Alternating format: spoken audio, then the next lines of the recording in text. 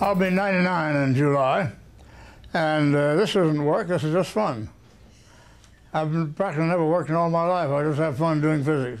Berkeley's a great place, great university, and I came out here partly because it was Berkeley. Great place to do, do interesting work. I wanted to produce very pure radiation of a high frequency, and I thought about it and I thought about it, and uh, I sat on a bench uh, park and, oh, hey, I got an idea. This is the way to do it.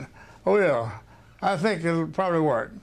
So um, I went home and I, it took me a long time to get it done, but I made microwave first, then push on up to shorter wavelengths up in the infrared and so on. maser is microwave amplification by stimulated emission of radiation.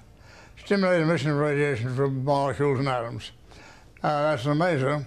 The laser is light amplification by stimulated emission radiation, so it's the same thing. Only one place it doesn't fit, and that's in, in the infrared. Because in infrared would be eraser. I have a good time doing physics. Doing physics is good fun. Explore, explore, explore. That's what science is, is exploration, finding out new things. So have a good time with it.